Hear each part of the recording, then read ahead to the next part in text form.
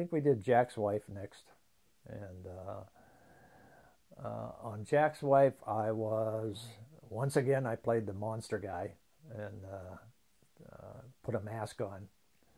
Um, a couple times I, when I was doing it, I was pretty sick, but um, I did second camera, second unit, a lot of the second camera work. Uh, we only shot 16 millimeters instead of 35 because we had a lower budget, but um, I did a lot of the extra scenes in the film, and I did all the lighting and uh, some acting once again. Um, uh, that's about it on that film. Yeah, but uh, I was second unit. I guess you call second unit director. I would go out and do scenes that uh, when George wasn't there. You know, I was working my way up to finally becoming the DP and doing stuff with uh, the Crazies, where I was. You know, I got up there and George says, "You're shooting it. You're doing the whole thing." I said, "Okay."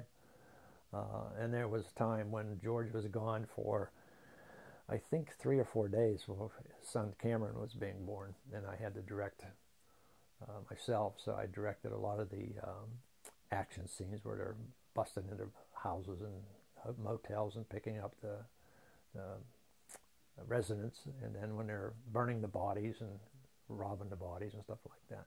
The Crazies was the same camera, the same lighting equipment, uh, same thing as uh, Night of Living Dead.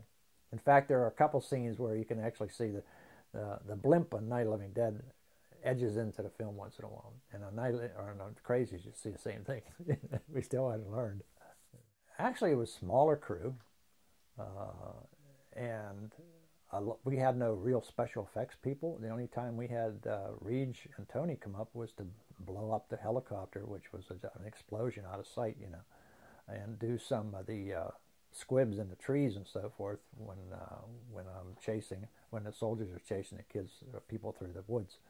Uh, but the others, the rest of the time, uh, my now wife uh, Bonnie and I did the special effects uh, for the um, uh, soldiers and and a lot of the chases, and we had very few real rifles. We had fake ones, you know, BB guns. but I actually used my my 308 rifle to shoot in uh, in the trees and stuff, or in the creeks after the soldiers would run by, do live action and uh, that kind of stuff. And a lot of the uh, effects, like uh, when the guy gets the back of his head blown off, uh, we did on our own with tubes and you know, hair and stuff. Um, it was a it was a lower budget a film actually, know, than Night. A lot of the army guys were, were actors who uh, were our were our they, uh, when he since they could wear masks, um, they were our, our, crew.